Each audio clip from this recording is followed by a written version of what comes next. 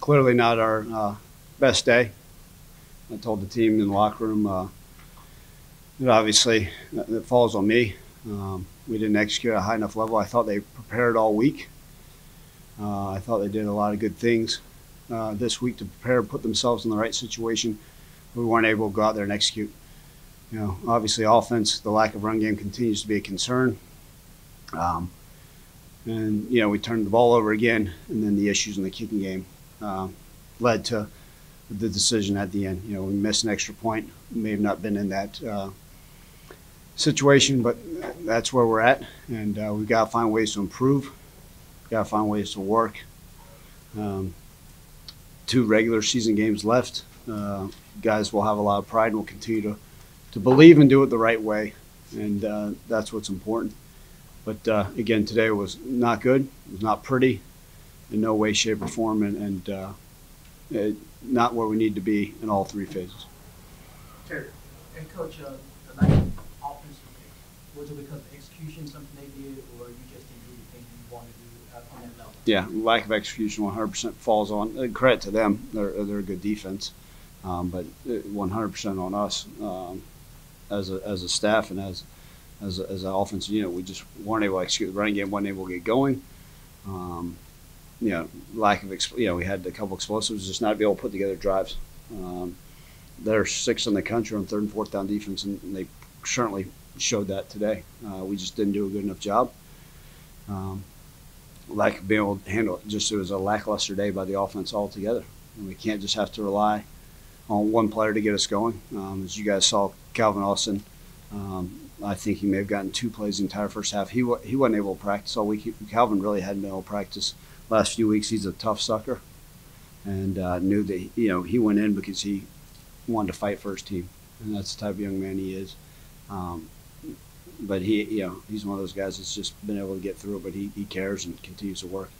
Uh, You know, um, but yeah, lack of execution, 100% on ourselves. Nothing. To do, credit to them, but just not good enough on our end. You gonna kick it before, before the timeout? Is that, like, did you change, did you change your mind in that?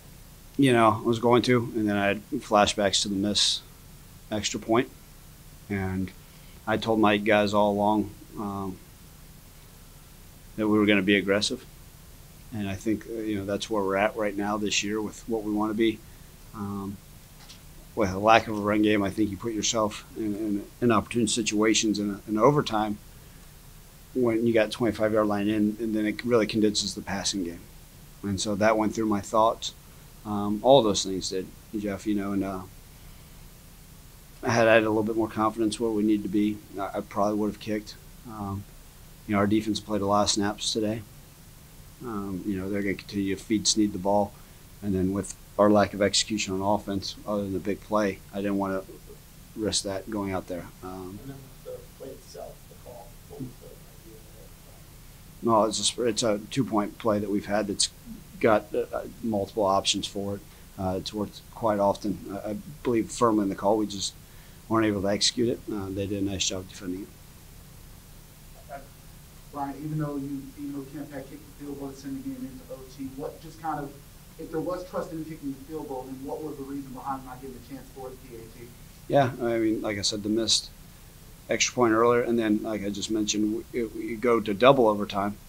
Right, you're gonna have to do again 25 yard line, and with us not being able to run the football, uh, it really condenses the field in the passing game. And so you start to sit there and say, okay, are we going to uh, take the ball? We'd get the ball back on the 25 again and, and go down there and score and then give our best two point play, which we tried to do uh, at the end of the first overtime. So um, when we got to that situation, I just felt our best situation to win this game right now uh, was by doing that.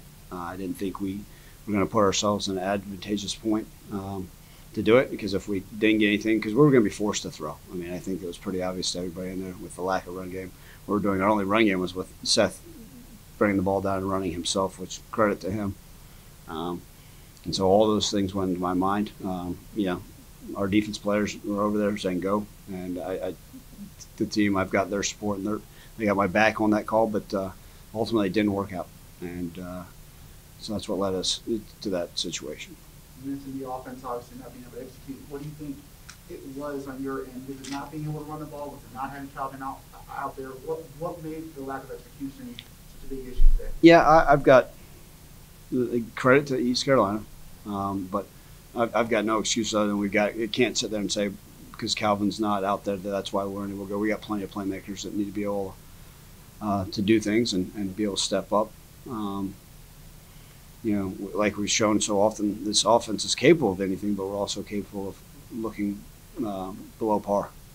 And I think that you know the reason for it. I'm going to you know take a long, deep look at this film and see where it is. But you know, I do think when you know when a team knows you're going to sit there and pass and you can't run the football, um, it, it doesn't help you much, right? This is a team that blitz, blitz, blitz, blitz, blitzed, and they still blitz some this game, but you know they were doing more um, dropping in coverage, rushing four or three, and um, we weren't able to take advantage of that. And that, I think that in the, in the run game we should have been able to get some stuff going, and had some timely deals. Um, and the run game it starts with everybody involved, right? From play calling with the, the scheme executed to the, the running backs to the offensive line to the tight ends to the receivers blocking. And it's not good enough.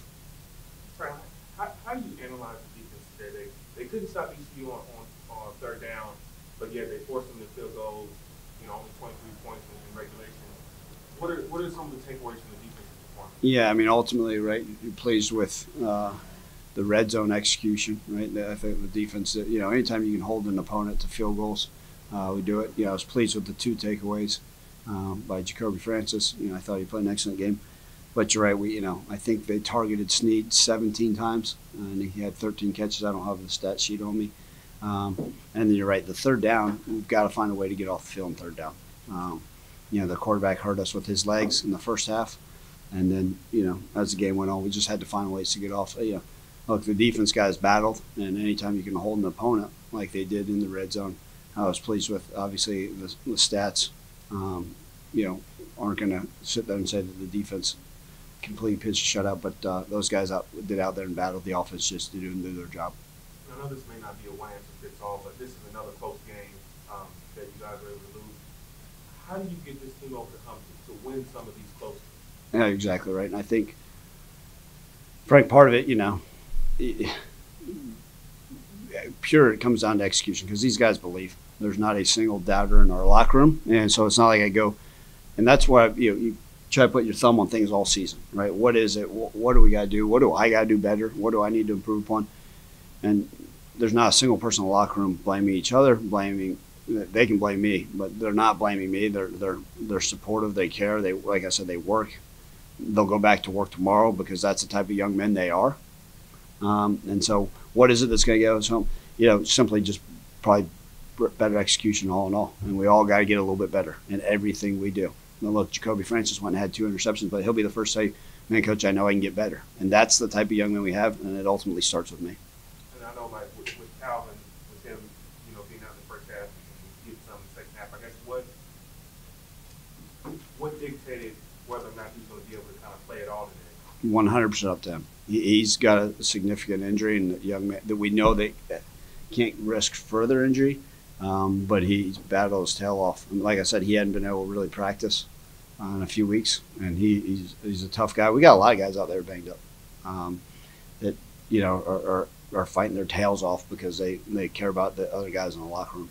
Um, and you know we've you know both of our offensive tackles were barely able to practice this week, but they went out there and competed. Um, and because they understand what's at risk and they want to they want to finish this season the regular season the right way.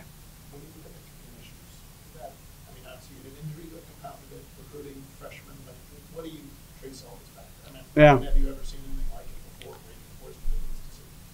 Uh, Jeff, I I haven't. I really, you know, um, I'm not going to sit there and blame one kid. I'm not. Um, you know, in recruiting, uh, you know, this was a recruiting COVID year, so most of our uh, stuff was all off of film. And uh, he, look, David Kemp was a fantastic uh, high school kicker.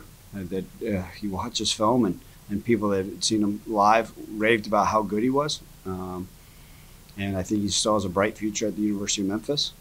Um, he did get hurt before training camp. Um, the last time he was back in game, he was completely healthy. Um, and you know, obviously had the missteps in Tulsa. which led us to okay, hey, let's just trust Joe Doyle, who was brought here to punt. Um, and you know, Joe's done everything we've asked. You know, it's uh, and then we, the young man came today, and um, obviously the missed extra point. So it has led to some of the decisions we've made as a staff that I've made. Um, I've never seen anything like it. You know, I'm not going to be one of these guys that's going to say, "Oh, we're going to hold open kicking chouts." Um, I've got faith in the guys. We just have to find ways to get it done. And I don't have a great answer for you. Uh, truly, I mean, I wish I could say, it's, "Hey, it's mechanics. It's it's maybe a mental." I, do, I don't know that. Um, that's one thing that I, I've done a poor job in my career being apt and reversing how we I can get a kicker fixed. Um, but it is it's it's troubling. It's frustrating. Um, and ultimately, it's on me, you know, to to find ways to be able to kick basic extra points to be able to do those things. So these conversations um, don't have to occur. Two more. Hey, Coach, um, I know it's a short week and you play an opponent that really don't like Memphis. The last time you guys went down there, they spanked you, that y'all spanked them real bad. I know they're gonna use that as motivation and they're ranked. So how do you get your team to turn the page on this hard loss and get to a point, so you don't become out to a slow start the season? Yeah, here's the one thing I know about this group that I'm going to have the opportunity to be with tomorrow is just like the win versus Mississippi State, just like the loss versus UCF, just like the work win last week versus SMU. They understand. Okay, that's in the past. We we got to get find ways to go out there and play a great opponent in Houston. We know they're ranked. I think our guys are excited about that. I have no doubt in my mind that group of young men that are going to get on a plane with me are going to be as dialed in, as focused as as they've ever been because that's that's what gives me you know hope and pride and that's why I haven't come up here and said it's all lost. No because I can look at Jacobi Francis in the eye and say man that dude's got my back and he knows I got his back and every single young man that's going to get on that plane Thursday night or Thursday afternoon is going to go out and there and battle their tails off. Um, for each other for the for the university for the name of, I, I tell them that this before every game go out there and play for the name on the front and the back of your jersey and they'll do it and they care and um, so I have no doubt tomorrow they're going to learn from this film and say, okay, okay, how do I get better? And like I said, ultimately it starts with me, Terry, and then they're going to say, okay, what do we need? What's the plan for Houston? Give us, give us, give us, and, and continue coach me, coaching, and, and show us. Let's let's keep working at this thing. I mean, that's that's why I can at least sleep at night because of the character of these young men. Last one. Ryan, you guys obviously now have to win one or two games to be bowl eligible. So at this point, I know Houston's on your mind, but just kind of how much more is that not going to be on maybe either adding pressure or something to think about like, hey, this is one of our goals, and now we got to take care of business, otherwise it could possibly slip away these next games. Yeah, not once have I talked about bowl games to our guys. Not once have I talked about that. I, I simply talk about the next game being the most important. This was the most important game of my coaching career. This one was, and we didn't get it done. So we don't. We talk about, and just like we're not even going to talk about the bowl games. We're just going to talk about how do we go find a way to execute and beat Houston, and our, and that's where our guys' focus has to be.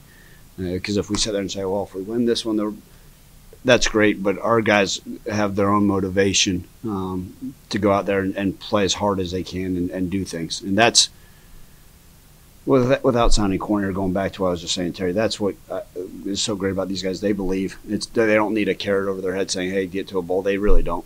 They're motivated. Um, they they want to work and, and, try to find ways to improve. So um, we won't talk about a bowl game. We'll just talk about going out there and finding a way to beat a, a ranked Houston team. And our guys will be so darn excited. Um, I'm, I'm sure a lot of these guys, knowing them, they go home tonight, they watch the film, put it to bed, and in the morning they'll say, All right, "What can we do for Houston?" And uh, so, look, that that ultimately is a goal for ours. But uh, honestly, I've not talked to them one time about a bowl game. Thank you, Coach. Thanks, Coach. Thank you guys.